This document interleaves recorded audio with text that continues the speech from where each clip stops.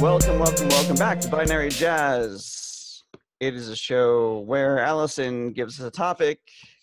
Gary and I try to talk about the topic without knowing it beforehand. Hijinks ensue. I am Chris, Jazz Sequence on the Internet. That is Gary, Binary Gary on the Internet. This is Allison, Allison Plus on the Internet. And we're back from a brief hiatus. And hello. Why, hello there. The topic today is hiatus. The root is of not. hiatus is hiate, which means to rest. No, I have no idea. I'm like, wow, I believe that. Yeah, that did I sound awfully, uh, Hi. awfully legit. From the Greek root, hayat. No, I don't. Uh, so how Um, y'all been? Yeah. It's a good question. I did like that Gary and I had the same, like, we're starting the podcast dance. That, of course, anyone listening to the podcast would not see. Yeah, it's the only dance in my repertoire, so I'm glad we, we match up there. it's good choreography. It's good basic, back to basic choreography. Yeah. Um, it's like the the white dude running man dance, right? Like just move your arms back and forth. That's about it. Find the beat if you can. And if not, smile like you're having a good time. Yeah, the smile makes it. Truth. Um, my hiatus was lovely. I don't know. Is it a hiatus? I don't know. Well, sort of a hiatus. It's been a couple weeks for us. It's been one week for the show. It's a hiatus. It's a That's- break. How does that work? Did we invent time travel? We Hmm? did. Yeah. Oh, that's neat. I've wanted to ever since I watched Sliders, which is not quite time travel, but Mm. close enough. for lunch. Sliders. I was just like, you want time travel? you can just have lunch whenever you want because you're a grown up. I'm going to as soon as we're done filming this. Filming this? Are you running film over there, Chris? yes. Yes. Um, as soon as we're done filming this, I'm gonna bust out some leftover tacos. Understand that concept, leftover tacos. So I went to uh, Disneyland and then Universal Studios and uh, the beach and and hit Vegas on the way out and on the way back and saw the Beatles Love Cirque du Soleil show on uh, on Tuesday night. Ooh, how was that? Oh, It was pretty freaking amazing. Yeah. Yeah. I was really impressed. I usually like Cirque du Soleil does like electronic quasi new agey kind of st- music like to their stuff and it's always really good and it goes with their stuff so i was really wondering how like contemporary like beatles would like go with that sort of thing no it was awesome Oh, awesome. yeah. I've seen Love twice. Um, yeah, amazing show. Yeah it, we realized afterwards that you kind of have to see it more than once to be able to catch all the things because there's just so much going on and, and so much of it There, there are several like licks of music that I hear now, like Beatles music, obviously, and like immediately in my head, I'm, I'm right back there. It's, Hmm. it's impressive. Yeah. I've Well, never actually seen a New show sponsor. du show sponsor. Well, Sponsor Allison to go see a Cirque du Soleil show. yeah Never yeah. seen. you really you you should you should see one. feel like it's my jam. but it is it would be your jam. yeah. And how was Disneyland? It was Disneyland. Um, I got to do so. We went last year with my dad, and this year we went with my dad and my mom, um, because she didn't get a chance to go last year. So um, we did a lot of the stuff that we didn't get a chance to do last year, um, and we did some of the things that we did do last year that we really liked, um, and that was cool. Um, we tried to we tried to get as much done in one day as possible because um, me and Aaron, and the kids, really wanted to go to Universal to go to Harry Potter Wizarding World. Um, that was like our priority. Um, and so we didn't do like the two days at Disneyland because two days at Disneyland and then Harry Potter would be ridiculous and also expensive. Um, so so yeah, so we They're did ridiculously expensive. and ridiculously expensive. And instead, we spent a crap ton of money at Universal. Um, But I feel like that involves like wands, butterbeer. Like you gotta go down Yep. that Yep. Yep. gauntlet of gauntlet Yeah. of fun times. Otherwise, why? Yeah. No, it was all of those things. Yeah, we, we did not get the robes and we did not get like full scarves from all the houses like we thought we might. Um, mostly because um, like because we do want house scarves.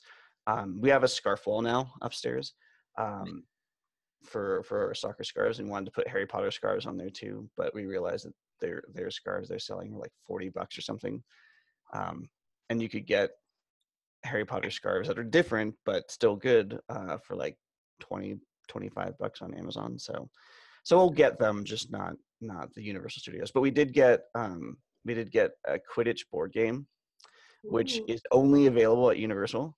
Um, and we played it, and it plays a lot like sort of like a cross between chess and um, like uh, Stratego, I guess. Um, yeah, Jerry and I are like, okay. it's it's really it's it's really I know one of those words. it's it's um it's uh, only two players, so it's a little bit um that that part's disappointing because um, we can't all play at once. But um, yeah, it you move like little uh, tokens across the board uh, that represent different uh, Quidditch players. Um, and there's a quaffle piece, and you can knock the person carrying the quaffle off the board and, and take the quaffle. And then there's cards that give you additional plays, and and the chasers are really fast, so they're really hard to catch. And they're but they can only move diagonally, uh, and the beaters can can only move two spaces at a time, but they move like straight and straight lines. Um, so it's it's it's you're always going to get outmaneuvered, but you can kind of try to position yourself to to block the chasers. And yeah, it's really interesting. There's a lot of like planning and strategy involved, which is kind of Mm. cool. And it actually, I was surprised how much like the actual game of Quidditch it kind of plays in terms of like scoring and in terms of how like your tactics would work and how um like how the chasers are basically unbeatable um and how like and the snitch is involved too this obviously the, the snitch appears and the, the the seekers catch the snitch and then the game is over but the snitch almost never appears and when the snitch does appear you have like a very slim chance of actually catching it Mhm. um and that plays into the game too so it's, it's actually really um surprisingly legit as far as like accuracy Minus like the flying portion. minus the flying portion obviously Always. That's the part I, w- I mean, I, I don't care about the rest of it. I just want to fly. But now, is this too personal of a question? But like, what house, like, what scarves would all your family, like, who everyone went die hard ravenclaw really? like hardcore like i thought i thought at least um i thought at least my my son uh was would go in with uh with gryffindor Yeah. um but uh but i got so i got my harry potter quidditch jersey um so i i'm repping gryffindor but everyone else went hardcore ravenclaw. Oh, um okay. yeah. I think it has a lot to do with with uh, I think the fact that well uh, the, the the wisdom thing obviously was because that's their sort of house sentiment I guess but also um, the fact that uh, Luna Lovegood is from Ravenclaw um, and she's a a popular uh, Ravenclaw I hear that. alum in this house. Yeah, I can see that. She's yeah. You can't. You just can't argue with Lou. Yeah. You can't argue- Literally, because if you do, she'll just like say some wacky thing, and you'll be like completely speechless. Yeah, exactly. You're like, oh, yeah, good point. Sure. Sure. Put her away.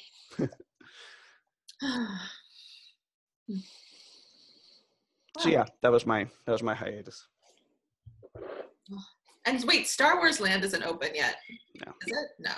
That's like No, they they were people were talking about it and looked like they were building stuff, but but no, it's not. because it's that they're shutting down Toontown. Is that? I love Uh, that. Like, That's these are the things I know. That's that's what I've heard. We didn't go to Toontown last year, and we didn't go to Toontown this year, and I have no like I don't care at all about Toontown. I cared about Toontown when I when Roger Rabbit was a thing, and that's a very long time ago. They're all they also shut down a Bugs Life World in California Adventure Park, um, and I think that they're building like an Avengers Land there. Ah. Um, there's like they're like Stark Industries uh, signs on the on you know the wall that they put up to block you from seeing what they're doing. They're like, don't look behind the curtain. Right. Exactly. I love that I have just enough weird Disneyland news. I'm like, oh yeah, this is a thing that's happening. I'm like, why do I know these? I know why I know these things, but still. Wow, you guys just drank in unison. That's gonna be amazing. that And was for the listeners of the show, Are you, Allison? Are you in the center on your screen up top? no, I'm in the Oh, upper, like a triangle. Yeah, I'm and that's oh. right. I have a different view. I have like a little like film strip up top, and then whoever's talking in the bottom. But I was hoping if we were on either side, not only did we drink in unison, but we did it in stereo.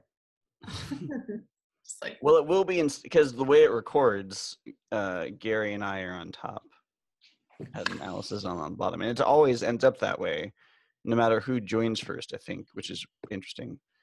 But anyway, uh, It's So- clearly alphabetical. Yes. So it'll be stereo for the viewers who subscribe to our channel on YouTube, our channel that doesn't have a name because we don't have enough subscribers.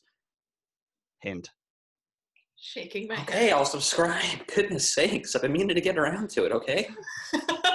let me set let me set a reminder in Slack for myself. These are the things that So excellent you sub- writers su- are made of. Subscribe and then Remind me. immediately uh, Follow subscribe and then immediately uh, like to say that you do not want any email notifications and then you're fine. Yeah. Okay, it will remind me on Monday if I don't do it before then. Oh, it'll remind me anyway. Well, we can remind you. You don't even Yeah, need to. we can totally We'll be reminders. New Gary, have technology. you subscribed yet? No, I'm in the middle of a podcast. I'll get to it after this. You're in the middle of a podcast, but yet you can get juice. I might get some more in a second. It's good. It's cold here today, y'all. How cold is it? Uh, a balmy 75, Gary. yeah. You're So still wearing outside this uh, a morning. t-shirt and I'm guessing shorts. Shorts. So Uh, that's why I felt from the chest up. Um, yeah, definitely shorts. I went outside without shoes on, as I always do. Um, I think it was that concrete was chilly. It's like it was below seventy last night. So I'm bidding bidding adieu to summer. Sadly, I just man. we left uh we left the we left sunny california where it was mid to high 70s and got to uh las vegas where it was like mm, low 80s and got to utah where it's like 50 That's Have I told you about my um? in celsius 10 Yeah. Hmm. That's the only crossover point I know. like 50 10. We're at like 10 now as well, and it's going to go down further for the rest of the Yeah. week. But yesterday and the day before, it was like, I don't know. Have I told you about my, my trade show trip to um, Las Vegas and Reno in late October years ago? probably not This is silly. This is just like how Gary works. Like going to Vegas end of October. Look the weather. It's like 80. It's awesome. So I did this, this trade show in Vegas. I had to fly directly from that one to Reno. Fly to Reno. I get off. It is freezing, literally 32 degrees, and I'm wearing like a polo shirt and khaki pants. OMG! Didn't realize that Reno, higher elevation, further north, would be a different temperature than Las Vegas, and it was freaking cold for three days. It's a very different climate I look like an idiot. I mean, everybody's walking in and taking off their jackets and stuff, and I I bought a flimsy jacket at Walmart. It's all I could find, and shivering everywhere. Shivering. Oh. I've Yeah, done that we a couple were- times traveling. Where I, I my first destination is in the south, and then I go north. I don't plan for the northern leg of the trip. Hmm. Did that? Yeah. We're actually thinking about um, the holidays and can and debating whether we want to drive to California to see my parents or to drive um, to Lakewood, uh, Washington to see Aaron's family. Probably we're going to go up to Washington, but the the real like the the difference is the Blue Mountains in Oregon versus uh, Donner Pass in uh, Nevada, California. Um, both of them are pretty horrible. Um, I think I think that Donner Pass beats Blue Mountains, but Oregon is really bad with snow. Like they don't understand snow and how it works and how you deal with it, uh, because typically uh, in states that experience snow, uh, you put the salt on the snow to melt the snow while it like even if it is snowing, you you do that and you and you shovel the snow while it is snowing to get it off the road. This is a thing that states that understand how snow works do. Oregon says, nah, fuck it. And when they wait until it stops snowing to do anything at, at, all about it. So by that point, the snow has now packed into a solid level of ice. Meanwhile, you're driving on ice for I don't know how long, quite long in some cases. Uh, and maybe you don't know this, but ice does not have a lot of traction. And you kind of go all up and down the mountain, which is fun. Before we recorded the first episode of the show, I did my first like long distance trip in snow.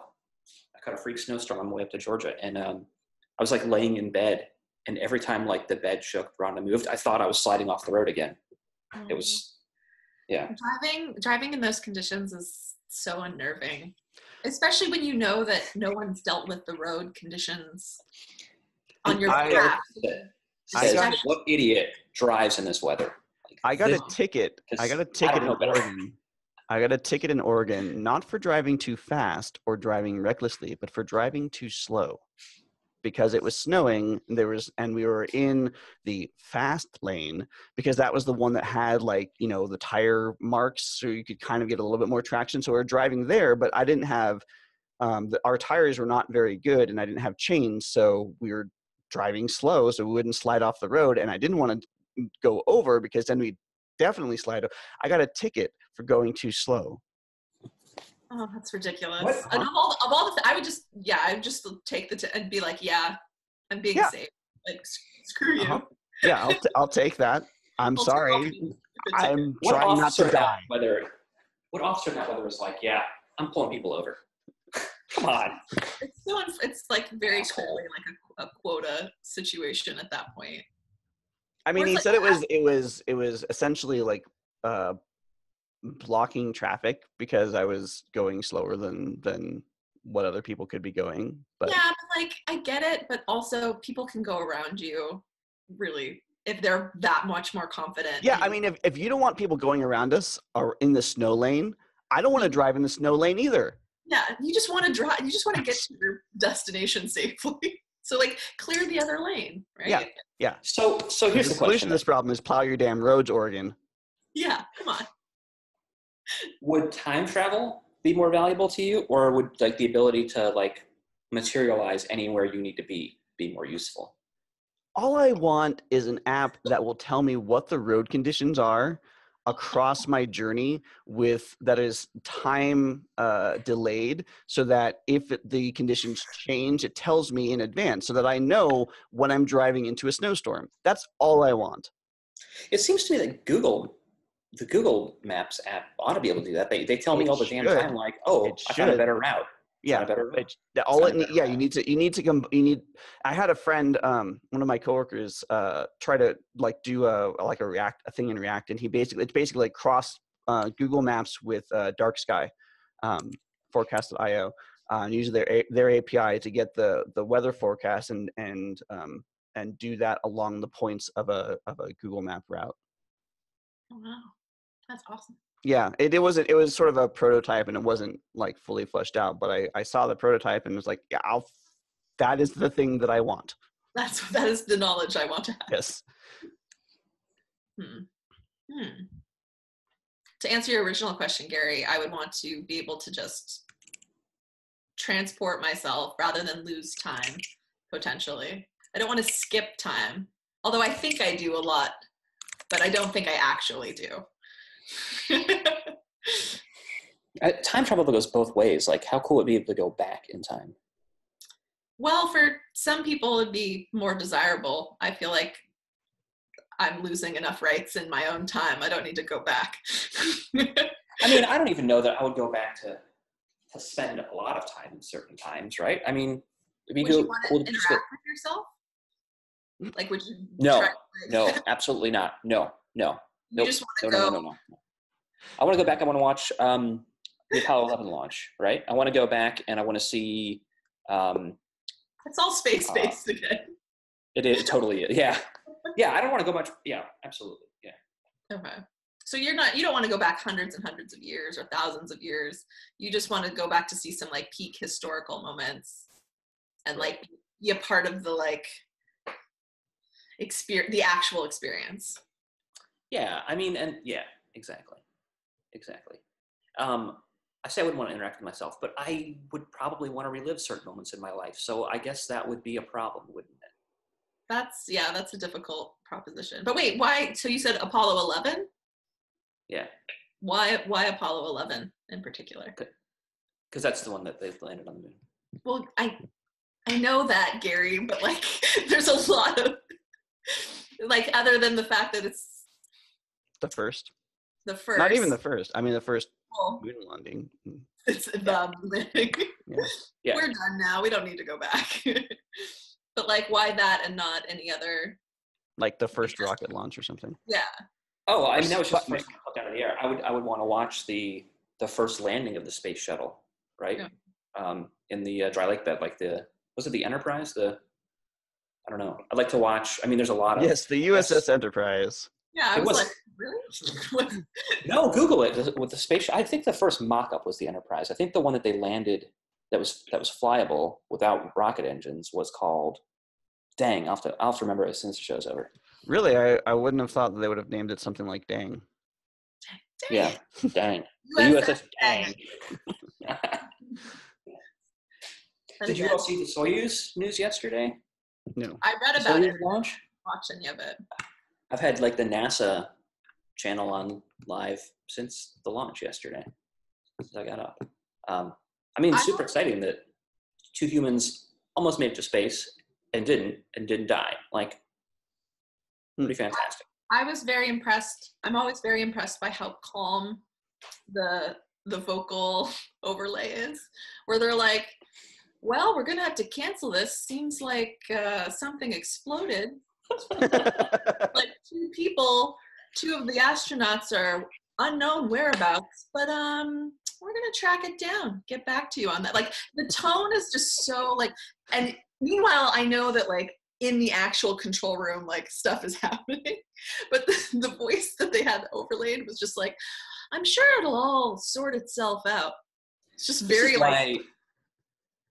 I can't be a conventional astronaut, right?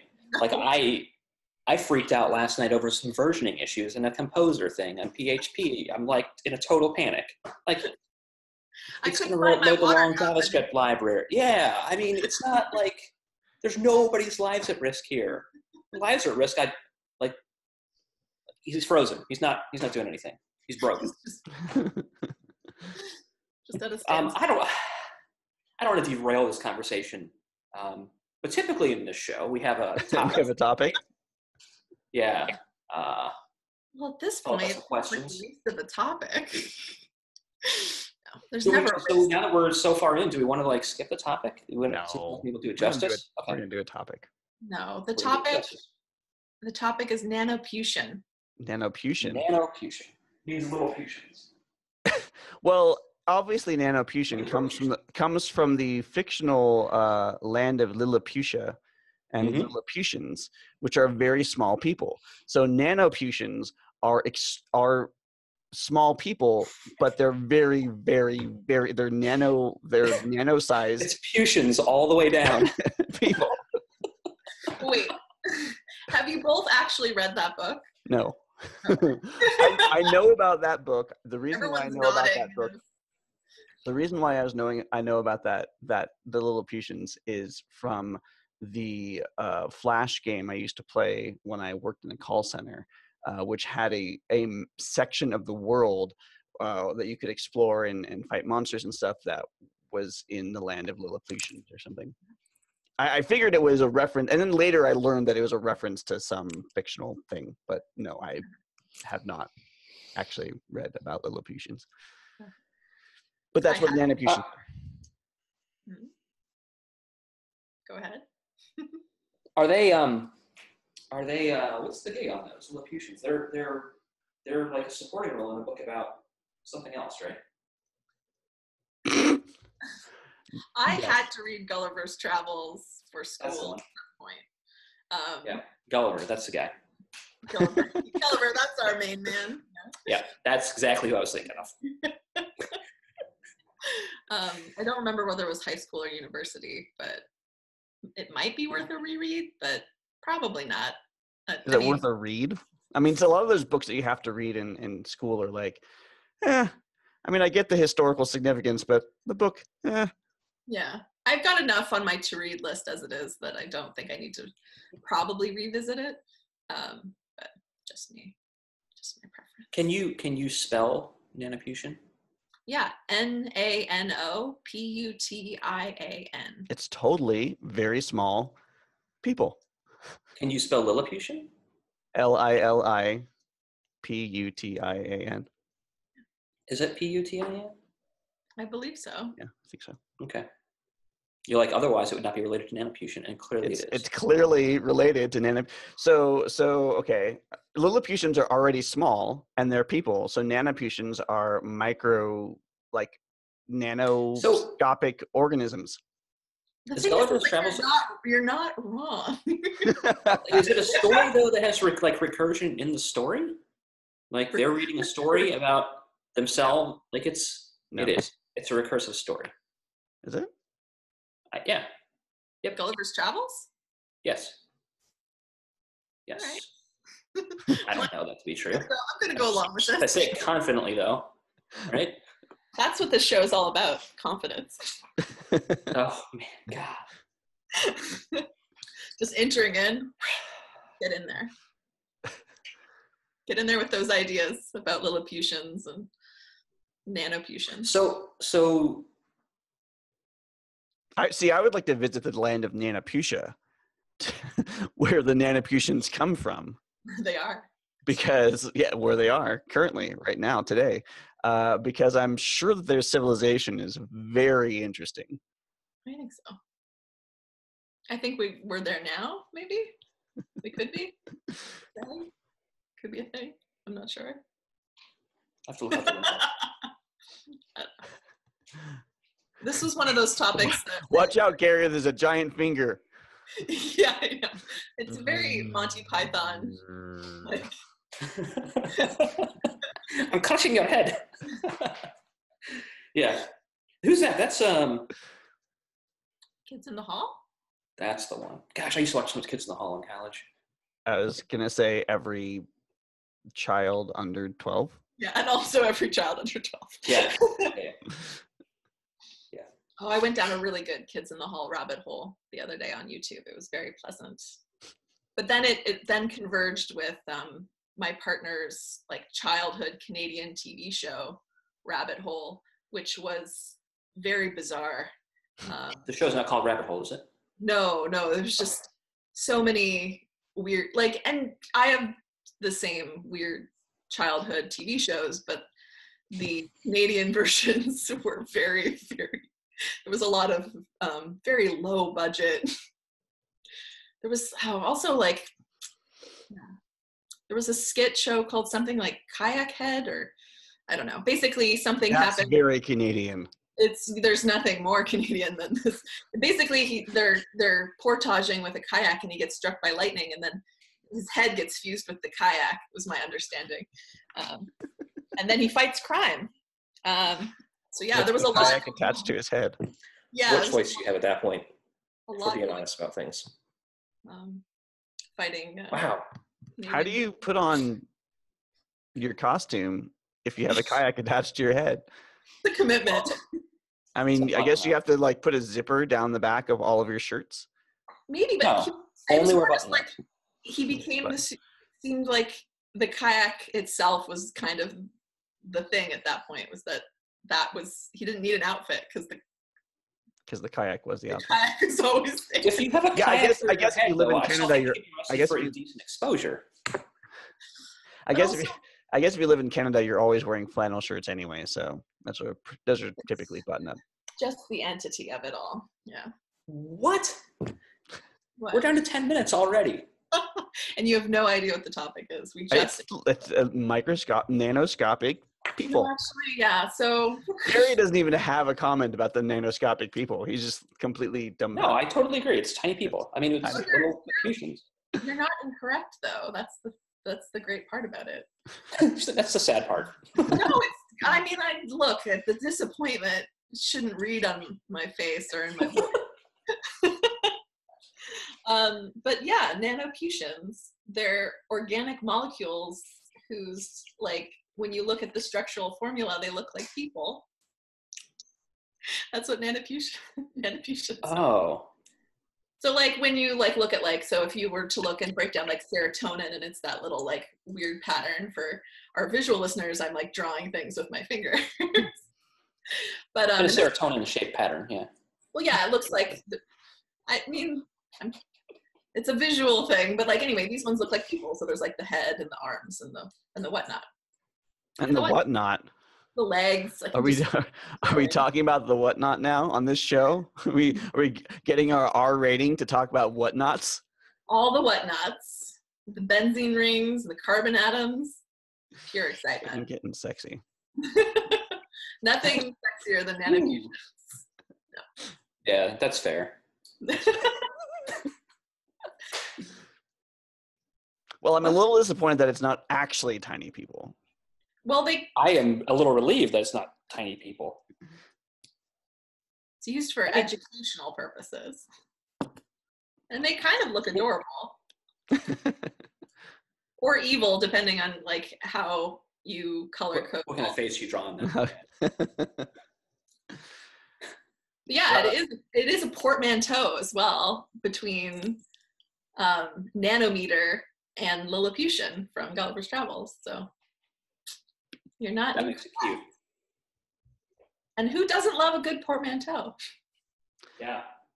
Yeah. so, for once, I don't know if it's the only time, but one of the few times on this show where we have broken down the word and uh, discovered the actual meaning of, the meaning. of yeah. the topic by breaking down the word. What what If you're not Allison was betting on is the fact that neither of us knew anything about Gulliver's Travels or Lilliputians. It's true. Which was a Which safe is guess. accurate, actually, because Yeah. none of us has actually read it. Yeah. it's Um, just some roundabout way that I actually knew what a Lilliputian was. If I didn't make some assumptions, then this show would not. not work out very well. So we don't have So- uh, listener questions. Please, listeners, send us questions. Um, and I think that since we've uh, taken a break from it a couple times, uh, we should do some actual questions anyway. Uh, we, so we have a backstock of Allison questions. Uh, so we're going to hit those, I think, in the remaining six and a half minutes. Um, oh, there's a new one I didn't even notice. Maybe it's not new. It's from September, but I didn't. I don't think I saw it. Uh, we're going to go with the one that's on top, uh, which is uh, Allison asks, Allison, that Allison right there, uh, asks if you had an extra one hundred dollars to spend on yourself every week, what would you do? hmm. I think, I think what I would do. and uh, legitimate legitimately spend on yourself not like like self-care or something not like don't be all charitable and that's a different question I, I think I think a hundred dollars. I would um like one night a week go to a fairly decent restaurant of some variety with the fam. Like we do that kind of anyway, like once a month. Uh, but I would just make it a weekly thing, and then the rest of the week be like fasting, basically. you're like no that's exactly where I was headed with it too. Uh, same same thought. You know, like some kind of entertainment with the family. Yeah. Okay If I, yeah, Is there a particular food or meal or place that you already have? Like you would be like, oh, that restaurant we would go to more often, or you would mix it up. No, variety is the spice of life. Yeah, totally. Be different every time. Yeah, and the thing, some, the thing about it is like the thrill of the hunt, right? and the thing about doing it having having that every week to do would mean that we'd be able to like what we do now is we rotate each person picks a place uh, and we rotate between the four of us so every month it's somebody else is picking that restaurant for that month um, so if we did it every week then we could rotate go through the rotation quicker and that way we could like explore new places that we haven't tried more frequently yeah Sure. Is there ever any fear that you'll regret the choice? And is there any of- ever like guilt about being like, oh, we tried this new thing and it did not pan out? Nah, it's part of the experience, in my opinion. Yeah. like, Yeah, I've- i mean to well, we won't come back, but I mean, we share some laughs together, and I mean, the food's never like inedible, but maybe certain courses are. Yeah. You know, it just it's, just, it, it's Yeah, fine. think It's fine, but it wouldn't be a repeat visit. Yeah. as as a glu- yeah. as a gluten-free vegan, uh, our choices are already limited, and if we do accidentally hit something that is crappy, then it is kind of disappointing, or has fewer options, and that's disappointing. We typically don't like. I mean, typically what we like, what Aaron and I will do is is pick, you know, the vegan places that we've heard about or that we know or whatever. Um, and the kids pick the places that they know that they remember um, and so we don't usually hit that but if we did hit that um, then yeah it's, it's a little disappointing we've we've been disappointed by going out to restaurants before particularly in other places where we're say we're like read reviews or whatever and it was like this is the best vegan place in nashville for instance and we went there and it was like hmm, this is kind of uh, not so great and the kids didn't like it and that's usually that's usually the the, the thing is like if the kids give it a, a hard no then then it kind of like well they're gonna be hungry tonight and that's sorry And that's a bummer. Yeah. Yeah. I think, Chris, too, in your case, like there's there's greater risk. You know, I mean, like if you, you eat you eat gluten, you know, you're going to have issues, right? Mhm. Um, you you eat food that's they claim is vegan and it's not. uh, You know, if it's the first time you've eaten meat or something something made with meat in, in years, you're gonna have problems. I mean, it's Mhm. you know, so the risk for you is much greater than it is for me. I mean, I I go somewhere and it's it's crappy. It's crappy. it's just plain old crappy, which is still not enjoyable. Oh man, I had this uh, went to this German place years ago, and I had some sausage that made me ill. Like Ew. lay on the bathroom floor oh, the entire no. weekend. Like I might die here. well, who's in that sausage? That's that's the that's not just like a mediocre experience of a no repeat. That's a maybe we should file with the health board sort of situation. That place, I've actually been back there since then. They have. Oh, Um, why? well, they, I'll explain to you why. So they moved from the location they were in, um, and they got they brought in a new chef, and the chef they brought in, um, I happen to know from his other stuff. So, well, so talking with him, he's like, he's like, they were just lazy, you know. He's like, I, you know, I asked this guy to clean. He said no. I fired him. He's like, so after I fired like five people, they knew I was serious about cleaning constantly. Well, that explains why I got sick, right? Um, but he's a great chef, and the place is. I don't ever want to frequent a place that they were just like we were kind of just like eh on cleaning. well, he, he's the he's the new chef and, and clean house on the old staff. I just yeah, there's a certain amount of illness that even if someone they bring in new people, it's still not good enough. Like I'm just sorry. Sometimes sometimes bridges are burned, and you leave those leave those I'm a places. survivor. You're just like I want my German food experience. There's not, as you imagine in Jackson, there's no options for German food. That's and maybe there's a reason. Maybe they need to maybe they need to run a tighter cleanliness ship. like and I would I would 100% recommend the place now. I think it's fantastic at this wow. you know, where it was previously. I mean, I took a good five or six years off when I got sick. like, well, yeah, because that's horrible. So that's all I'm That's taking valid. forgive for almost killing me. Five or six years, just in case you need reference. I can picture that Yelp review roller coaster ride of. Are you are either of you Yelpers? Do you Yelp? I used Uh, to a lot, but I Yeah. stopped. I should start again, I guess. I I look at Yelp for reviews, but I have not written very. Oh man, this is a topic in and of itself. I am so emphatically anti Yelp. Wow. I used to be Yelp elite. That's where. Yeah. Yeah. But I I do like doing it if I have a really great experience with like a small business in my neighborhood. I I keep trying to remember. Thank you for listening to Binary Jazz. If you like this episode, you can subscribe to us on iTunes or Google Play. You can visit us online at binaryjazz.us or follow us on Twitter at, at binaryjazz. Don't forget that you can ask us a question through the forum on the website or on Twitter, and we'll read it aloud on the next episode of Binary Jazz.